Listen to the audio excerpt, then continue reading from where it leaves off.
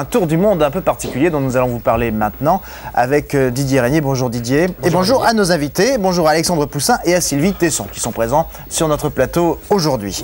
Un livre, un livre qui bien sûr n'a plus que plaire à Didier Régnier et qui nous a plu également. Il s'agit d'On a roulé sur la terre. Ce livre, le voici, édité chez Robert Laffont et qui retrace euh, avec euh, beaucoup de détails et d'anecdotes cette expérience de vie.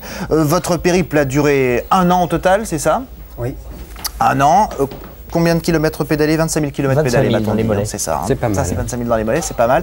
Qu- Qu'est-ce qui fait, euh, Didier, avant de vous laisser parler, messieurs, euh, qu'est-ce qui fait de cette expérience une expérience euh, particulière? J'ai absolument tenu, Olivier, à te présenter euh, ces deux jeunes gens, très bien, euh, qui ont fait un tour du monde extraordinaire, parce que lorsque l'on parle d'aventure, on parle souvent de, de gros moyens, de gros sous, de talkie-walkie, d'hélicoptères, euh, de balises Argos, des moyens sophistiqués, souvent, qui dénaturent en quelque sorte l'aventure. Ça, ce sont, ces deux personnes, ce sont les auteurs d'une aventure purement authentique, puisqu'ils sont simplement partis avec un vélo chacun, 25 000 km, tu l'as dit, pendant 365 jours, et avec, et ça c'est assez intéressant à noter, seulement 6 000 francs en poche. Voilà pourquoi je, je tenais absolument à ce que l'on parle aujourd'hui de cette aventure, parce qu'elle est authentique avec un grand tas. Alors Alexandre et Sylvain, que- comment s'est passée euh, votre rencontre? Est-ce que c'est euh, dans le cadre des études que vous vous étiez rencontrés? Et puis surtout, comment est née cette idée complètement loufoque, euh, à la veille du 21e siècle, de se casser comme ça pendant un an? Bon, on se connaissait depuis tout petit. On Ah a bah d'accord. On a commencé à faire les 400 coups quand on avait 15 ans, en grimpant Ça, c'est sur, une les, vieille histoire, sur les toits de notre lycée. Donc on se, on se connaissait un peu. On a fait de l'alpinisme ensemble après. On est parti à 17 ans après le bac à travers les plateaux d'Islande. Et puis on s'est dit pourquoi pas aller plus loin et pourquoi pas faire le tour du monde. Et puis à vélo parce que c'est un moyen de transport fabuleux. Et on ne voulait pas partir en situation d'échec. Il a fallu mener à bien d'abord un premier cycle d'études pour ne pas être en rupture avec nos parents, en rupture avec la société. Tout nous retenait ici finalement. Mais on est parti, euh, moi après un diplôme de sciences politiques, Sylvain après un diplôme de maîtrise de géographie. C'est un petit peu des travaux pratiques qu'on a fait à bicyclette autour du monde pour essayer de voir, confronter ce qu'on avait appris sur les bancs de l'université, voir la réalité du monde par nos propres yeux. Un peu une démarche de Candide, vous savez, qui part comme ça, euh, plein de bons sentiments autour du monde. Mais finalement, c'était quand même un petit peu instruit avec un regard averti sur le monde. C'était c'était la façon pour nous, le- la bicyclette, d'abord- d'aborder le, le monde et la réalité d'une façon la, la plus authentique possible. Ça Parce qu'on pénétrait. Voilà. Pas du tout une fuite, non, non, ça a été au contraire, c'était une, c'était aller vers les gens et la bicyclette vous permet de rentrer dans le quotidien des gens et on a passé euh, la plupart de nos nuits invités chez les gens, partageant avec eux leur dîner, partageant des, des scènes inoubliables. En tout cas, c'est vrai, Interpol nous a confirmé que vous n'étiez pas recherché par toutes les polices au moment où vous avez quitté le territoire. Euh, Est-ce que la volonté de ne partir qu'avec 6 000 francs, c'était également le fait de vouloir absolument vivre intensément chaque étape de ce voyage sans le grand luxe auquel, enfin, que l'on peut s'offrir si on partait avec euh, un million de francs? Bien Forcément, sûr, en effet, oui. quand, quand on arrive dans un village avec euh, des balles de jongle et des flûtes, on ne dépense pas, on ne va pas à l'hôtel, on ne va pas dans un restaurant, on est toujours accueilli par les gens et deux tiers de nos nuits chez l'habitant, c'est vraiment ce qui a fait qu'on a dépensé que 6 000 francs. Oui, c'était une volonté, c'était un peu une contingence aussi parce qu'on partait donc avec ces 1000 dollars qu'on possédait. Mais comme Didier l'a dit, on n'avait pas de balises Argos. Les seules balises Argos qu'on avait, c'était des flûtes et en guise de satellite, on avait des balles de jongle qui tournaient euh, autour de nos mains et de nos vélos. Il faut que vous restiez sur le service public, vous vous êtes intéressant. Euh, auprès de Didier, il y a donc euh, l'un de vos deux vélos. Euh, Il est encore avec vécu, toute la hein. poussière Il de l'expérience vécue. Il est encore dans son jus, mais il est plus contagieux. hein. non, non, on vous fait confiance. Euh, cela dit, est-ce que vous pouvez nous détailler les différents éléments qui, euh, qui ont fait donc partie de votre, de votre voyage? Une visite des lieux très rapide. Vous avez ici la, la- la sacoche du guidon qui est notre table de chevet avec dedans les livres et les balles de jonc. Et ça, c'est le petit plastique peut-être pour, euh, mettre la carte. La carte et puis aussi des poèmes qu'on avait photocopiés et qu'on apprenait au fur et à mesure de- du pédalage. Ici la cuisine avec les casseroles, le- la salle de bain toute petite à qui on n'a pas fait beaucoup de mal à droite avec le savon et la brosse à dents. Le bidon d'eau, là c'est la réserve pour le désert. Combien de litres? Oh, euh, 5 litres à l'avant, 5 litres à l'arrière quand on était dans le. Sahara. Ça faisait 12 litres quand même, 3 jours d'autonomie. Là, vous avez la chambre à coucher juste à côté de vous. euh, ici, et voilà, Voilà, ici, ça, c'est c'est- la chambre Elle à est coucher. spacieuse. Hein. Oui, euh, c'est sur bon, le c'est- sol, oui. Avec un baldaquin, une belle Si, si, tente oui, igloo. non, bien. Euh, Vous aviez trop de choses en fait. Oh, oh, ben, on, a, on a appris à se délester, hein. on, a, on a appris à vivre comme des ascètes et on revient avec beaucoup moins que, que, de- que le Ah, vous étiez parti avec on- beaucoup plus. On est, euh, on est revenu sans sac de couchage, par exemple. Tout, c'était vraiment une école de la 16, c'était le délestage permanent. Et finalement, à la fin, on coupait tout en deux. On a vécu avec deux t-shirts, deux shorts, deux slips, deux paires de chaussettes pendant un an. Et euh, ça nous a suffi. Mais C'était vraiment une école du dépouillement. Euh, voyons en image maintenant la première partie de, de ce périple. Vous allez euh, nous aider à détailler tout ça. Des images qui sont tournées par vous. Et qui a commencé donc par l'ouest. Vous êtes parti du côté de l'Afrique. Donc Paris, Espagne, Maroc.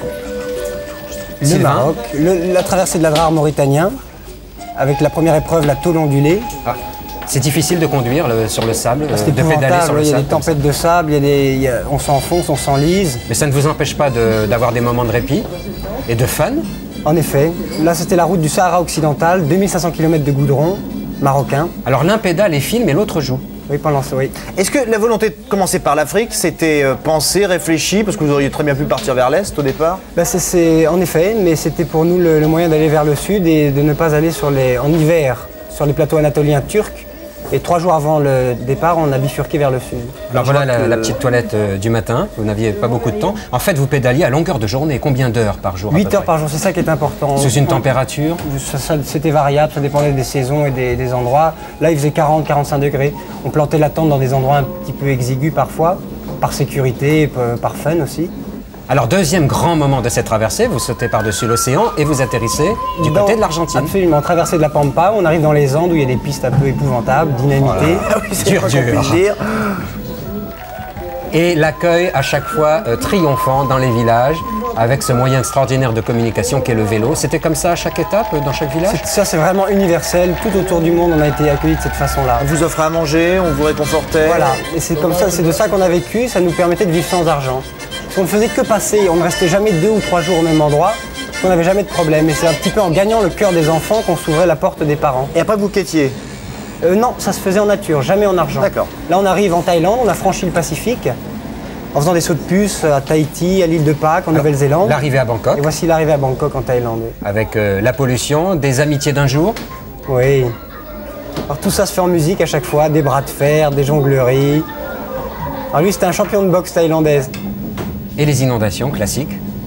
Ça, c'est le côté un petit peu de l'Asie du Sud-Est. euh. Est-ce que vous avez eu de grosses surprises par rapport à ce, ce que Bah, c'était un vous peu un tour du pensiez monde, euh. C'est un peu un tour du monde contre les idées reçues. C'est vrai qu'on avait, on avait un regard nuancé sur les choses, un regard du monde réel. On a vu le monde réel finalement, pas celui de la télévision, euh, pardon pour vous, de la, des radios et des Non, choses mais vous comme avez ça. raison de le dire. Et c'est pas, on n'a pas vu un monde catastrophique, on a vraiment vu un monde chaleureux où l'humanité est omniprésente. Ça, c'est la descente du Mekong vers le Laos.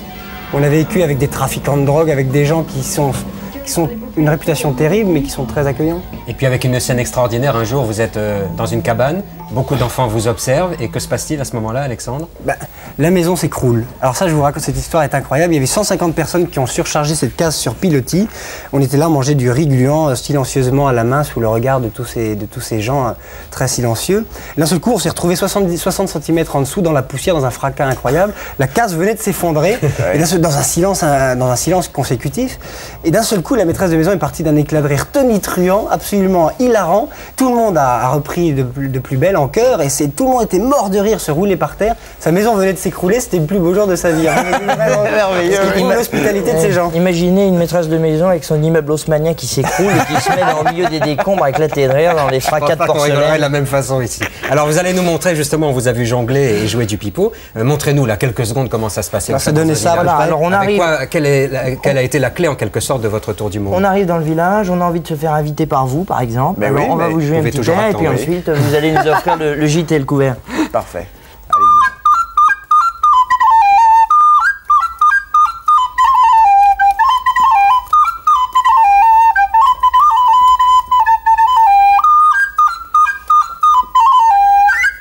Pas mal, pas mal du tout. Alors ça c'est important Olivier à, souligner parce qu'on pense souvent qu'il faut de gros moyens pour voyager et souvent même si on ne parle pas plusieurs langues lorsque l'on voyage, avec un sourire et des gestes tout à fait simples, on s'ouvre euh, les portes du monde et c'est ce qu'ils ont démontré pendant un an. Sauf les portes de la Chine, parce que là on a un gros problème de, de- de- de communication. Ça jouait Chine. faux Les- le- Ça jouait faux, Ouais, oui, c'est- un petit ça, peu. ça- ça devait être ça. Et puis les Chinois étaient moins réceptifs à nos gestes. Est-ce que vous aviez eu des problèmes de santé importants ou pas? Ben, Alexandre que vous voyez là est un miraculeux, un miraculé même, même parce qu'il y y a un an et demi il était tout jaune, il a attrapé une hépatite et euh, il a été soigné grâce à une vieille grand-mère rencontrée dans le Balouchistan qui lui a donné comme recette un peu ésotérique et traditionnelle de manger un kilo, un kilo de miel par jour. Donc moi je suis allé lui chercher du miel dans Téhéran. J'ai fait tous les environs de Téhéran pour trouver du miel et j'en ai trouvé. J'ai des tas d'adresses là auprès des mollahs pour trouver du miel mille fleurs. et, et Alexandre a- On a- fait un pont aérien entre Téhéran et Paris. Sylvain, Sylvain allait faire du canyoning dans l'Elbourz avec les gendarmes de l'ambassade de France et toute la journée, voilà, J'étais là à essayer d'avaler mon pot de miel, j'avais que ça à manger. Il faut avoir la foi pour, euh, pour, euh, pour se guérir d'une hépatite. Oui. Alors incroyable, en trois semaines, rémission totale de la maladie, le taux de transaminase a chuté vertigineusement. Le médecin de l'ambassade de France en a perdu son latin. Oui. Et J'étais guéri, j'ai pu repartir en France. Lui prescrivait un rapatriement sanitaire d'urgence vers la France. Mais, mais malheureusement pour Alexandre, il était encore en convalescence quand on est reparti. Et là, on a traversé les pays du RSS où on ne pouvait pas passer une heure sans euh, rencontrer une bouteille de vodka tendue qu'il fallait finir. Oui, pour le foie, avec les douaniers en perfusion depuis 6 heures du matin, qui étaient les, les hémisphères lessivés par la vodka depuis, en depuis la nuit des temps. En Crimée, vous avez fait éruption plus que. Alors ça c'est une histoire un peu incroyable. C'est le premier visa qui nous a été refusé et réellement on retrouvait la rationalité occidentale. Ça- ça- il fallait aller à Moscou acheter un visa. On était 4000 km en dessous. Donc on est rentré en Crimée clandestinement dans le coffre d'un commandant russe qui nous a fait passer de l'autre côté dans Salada avec les vélos bâchés sur le toit. On a roulé 7 jours clandestinement jusqu'à Yalta. On est arrivé le jour où le Parlement de Crimée faisait sécession, la guerre, donc des chars partout dans les rues.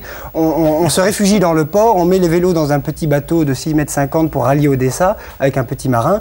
Là, on se fait prendre dans une tempête euh, catastrophique pour le bateau. On se réfugie la nuit dans un port qui n'était pas prévu. Un- un- quand on rentre dans le port, un bateau nous éperonne, on commence à couler, voie d'eau, on colmate la brèche, enfin la panique. Et le lendemain matin, quand on se réveille, on se rend compte qu'on s'était réfugié dans une base militaire ultra secrète de Crimée, au milieu des croiseurs, des avisos, etc. Alors quand les douaniers, le lendemain, euh, l'aube s'est levée, ils ont vu un, doi- un- un- un petit bateau de plaisance dans cette base militaire avec à bord deux cyclistes français avec les vélos démontés dans la cale, sans visa, en clandestin. génial.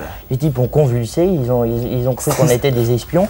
Ils nous ont mis euh, en, en prison, ils nous ont expulsés en Moldavie. Si vous ne savez pas avec qui partir en vacances, et si vous êtes libre, sachez que Alexandre et Sylvain sont libres cet été Ça, c'est clair. pour vous faire vivre la grande aventure. On la a, des, philosophie, on a des candidates derrière. la hein. philosophie de ce tour du monde, euh, Ouais, vous en revenez dans, avec quel état d'esprit?